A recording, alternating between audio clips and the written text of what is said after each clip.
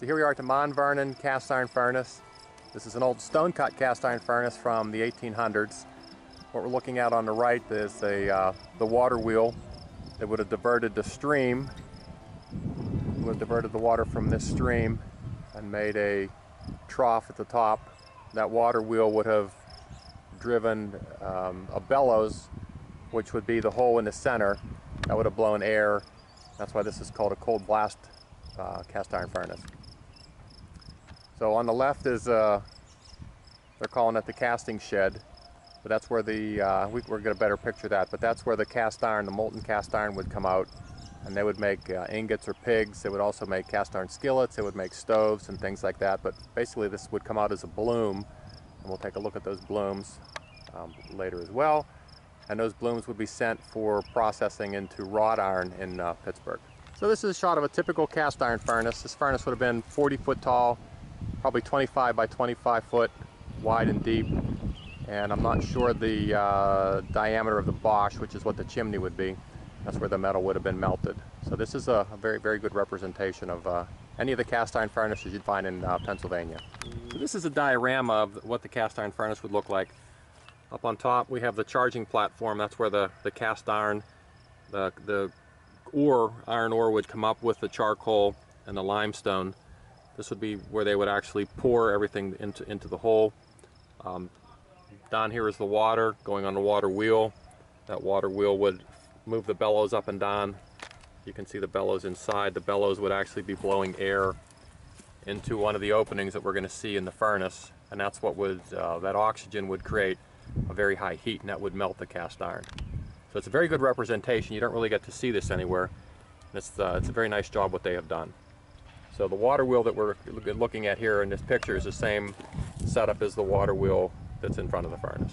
So the Historical Society has done a nice job, um, probably six or seven or maybe 10 years ago when they looked at this furnace, it was in real disrepair. But uh, these guys have done a very, very good job of putting this furnace back in, um, in pristine condition from the furnaces that I've seen. And the interesting things here are the dates. 1798 is when this was built. Um, after a certain number of years, the, the brick that lines this has to be replaced, so they say this was rebuilt. Blown out in 1830, which means they quit using it in 1830, and uh, employs about 60 men. You really couldn't see that, but there's just a lot of things going on in the background. There's guys cutting trees down to make the charcoal.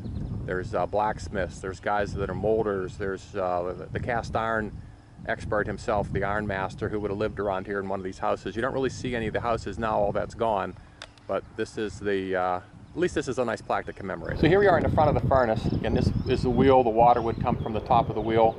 There would have been a shaft coming out right through here, and there would be two bellows, which would be two levers that operate the bellows, which would be the air going into the bottom. You can see, uh, we get a little closer here. The air comes in through here. You can see that hole.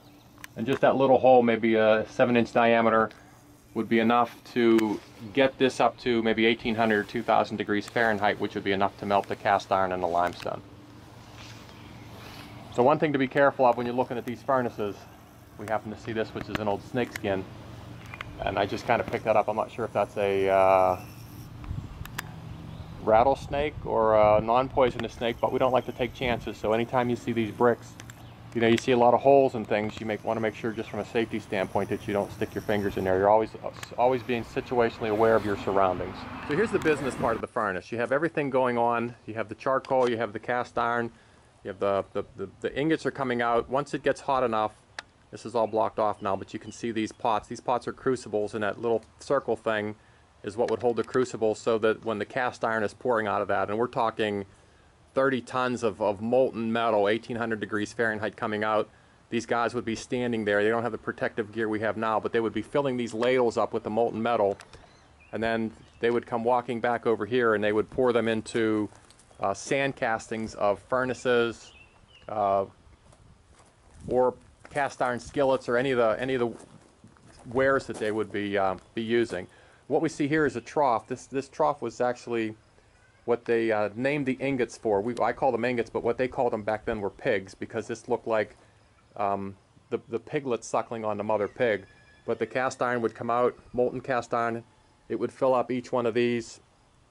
And after it cooled, they would break them off. They would put them on a trailer and they would ship them into Pittsburgh or someplace for processing. So again, this is cast iron. It's very high in carbon and you really can't use it for any type of um, anything without changing it into wrought iron. And here's some of the byproduct. This is some of the slag that is left over. So it's probably not, not very usable. So the, the first thing that would come out would be this slag.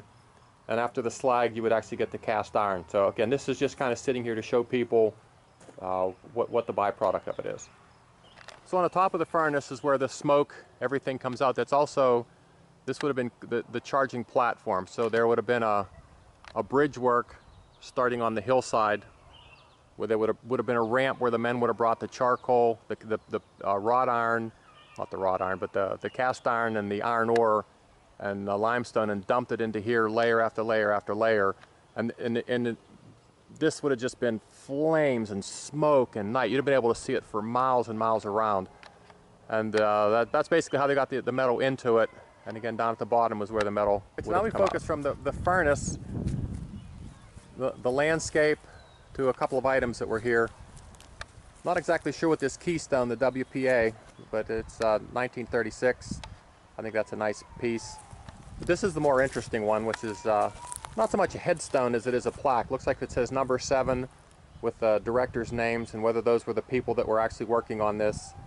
Um, 1877, that's about the time this thing was in operation. So, not exactly what these are. There's a bunch of names here.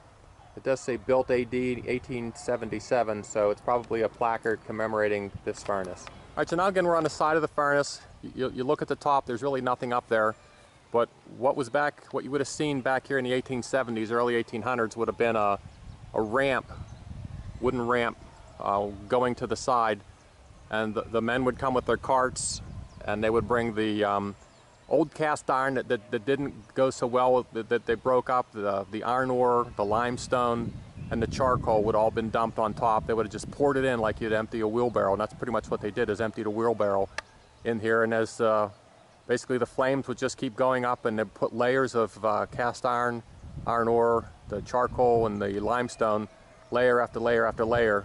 And the bellows would, would heat it up, and then they would pour once the thing was done and uh, it would probably take 20 hours to heat everything up a full day. This ran 24 hours a day, seven days a week. A lot of times it ran in the winter time, and uh, I mean these these guys lived a tough life. Actually, here we are at the back of the furnace. Again, if, if you were back here a hundred and some years ago, you see the stream, what's the, the remnants of the stream on the other side of these uh, four by fours. But you would actually, they would have diverted the water, and you can see some water coming out up here behind this tree. You can see some water. They would have diverted that water into a wooden uh, trough system. The trough system would come all the way over here to the top of this water wheel and it would deposit the water. The wheel would have spun this way and again that would have blown the bellows.